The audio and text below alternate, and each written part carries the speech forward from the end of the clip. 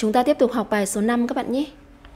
Unit 5 Food and Drink Project Phần dự án 1. Work in groups. Design a poster about eating habits in an area or a foreign country you know, including Yêu cầu hoạt động số 1, các em làm việc theo nhóm, thiết kế một cái áp phích về những thói quen ăn uống ở một khu vực hoặc là một quốc gia nào đó mà em biết, bao gồm các ý sau đây. Ý thứ nhất, names of main meals and meal times, tên của những món ăn chính và những cái giờ ăn.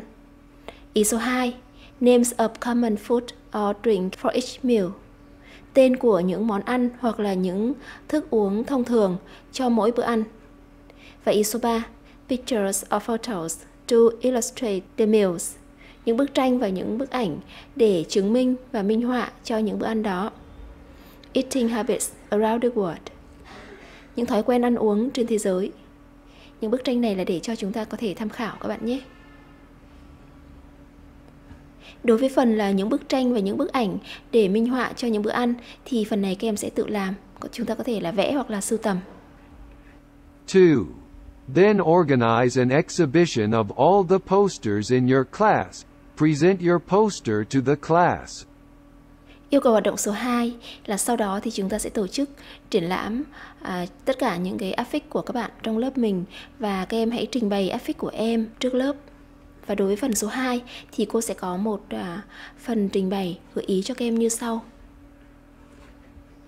Hello everyone.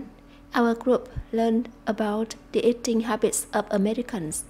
Today, I'm going to present about the main meals of the day and their dishes and drink.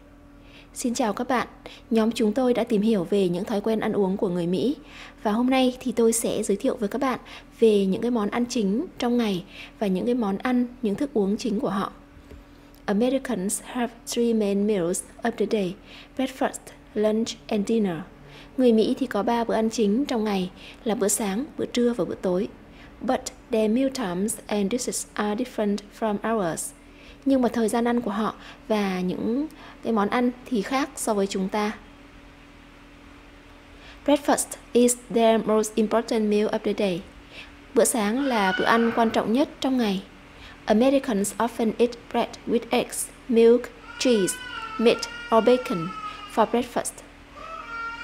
Người Mỹ thì thường à, ăn bánh mì với trứng, sữa, phô mai, thịt hoặc là thịt sông khói trong bữa ăn sáng. Breakfast is usually from 7 a.m. to 9 a.m. Bữa ăn sáng thì thường là từ 7 giờ đến 9 giờ. Convenient lunch usually starts from around 11 a.m. to 2 p.m. with popular fast food such as sandwich with sauce or ham, hamburger and sausage, pizza, cheese stick, apple pie. Bữa ăn trưa tiện lợi thì thông thường là từ khoảng 11 giờ cho đến 2 giờ chiều với những cái món ăn nhanh phổ biến như là bánh sandwich với nước sốt hoặc là thịt dâm bông, hamburger với xúc xích, bánh pizza, bánh mì bò, bánh táo. Coca-Cola is American's favorite drink. Coca-Cola là một thứ nước uống được yêu thích của người Mỹ.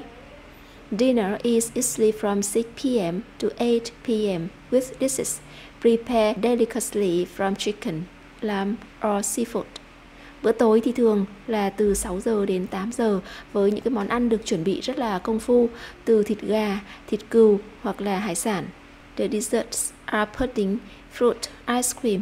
Những món tráng miệng thì bao gồm là bánh pudding, trái cây hoặc là kem. At dinner, they often use some wine, soda, carbonated water. Trong bữa tối, họ thường dùng một chút rượu, uh, soda hoặc là nước uống có ga. Coffee is a popular drink in America and they usually drink it at all times of the day. Cà phê là một loại thức uống khá phổ biến ở Mỹ và họ thường uống cà phê vào bất cứ thời điểm nào trong ngày. Sau khi hoàn thành hết các nội dung của bài thì chúng ta sẽ làm phần khảo sát sau đây các bạn nhé. Chúng ta hãy đọc các cái nội dung này và chúng ta đánh dấu vào câu hợp lý.